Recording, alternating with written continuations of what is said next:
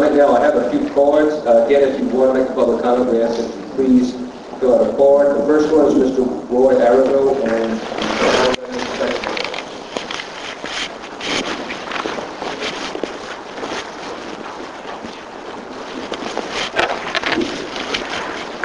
Good morning, Mr. Chairman and uh, members of this authority.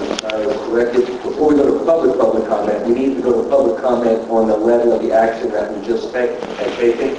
And you can say where you're at unless there's someone else. Does anyone have any comment, public comment with regard to the motion just taken and in regard to the levies and slot release? Okay, hearing none. Now we're moving to public, public comment. And actually, I'd like to move back because my comments were going to be about that action. Okay, yes, yes. Uh, I want to point out uh, and and put it on a record that the act that created uh, the CEPLA board very clearly stated uh, that uh, uh, parish funds would not be spent in in other parishes for for purposes of levee construction. And we just had that resolution pass, and there was no opportunity for the public to comment. This was added at the last minute onto the agenda, and nobody had any advance notice, and nobody was given any uh, opportunity to comment on that.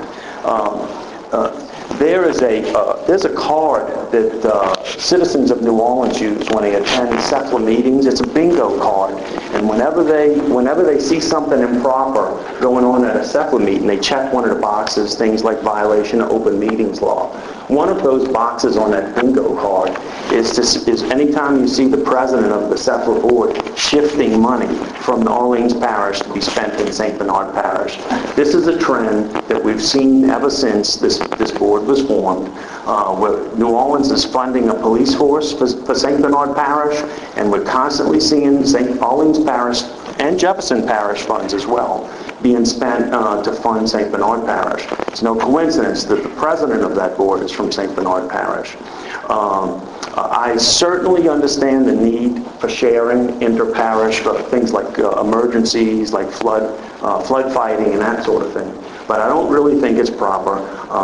Uh, When, when that tax, that slip tax was up for the voters a year or so ago, uh, this was not on, that- this was not a part of what the voters uh, voted for to renew that tax.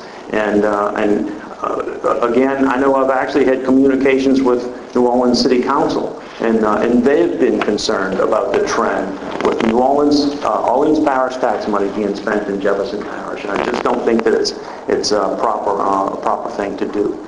Uh, Nobody had the opportunity to comment on it. It's, it's a last-minute thing. That's another thing we see uh, when, when this type of action is going on. It's always last minute, added on. I I don't, I don't mean to imply anything improper with this board.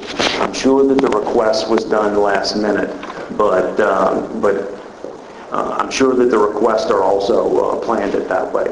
So uh, I regret that that, that that vote took place, and uh, I don't think that it was proper, and I think that the New Orleans taxpayers wouldn't be happy with it. So, Mr. Roy.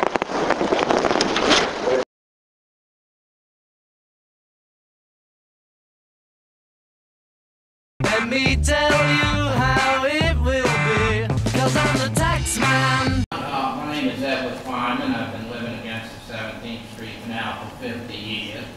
Those parishes do not pay a penny. And I'm tired also of paying all the bills for St. Bernard.